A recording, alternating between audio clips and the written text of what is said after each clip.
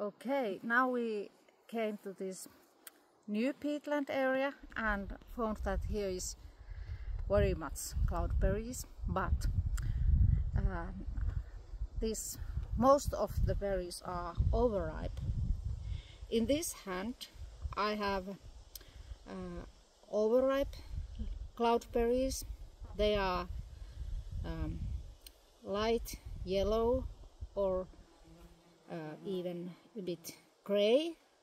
And here are in this hand you have uh, two um, cloudberries which are still very good.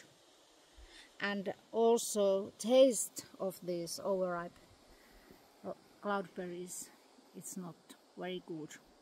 So the quality of the cloudberries in this peatland is not so good, unfortunately.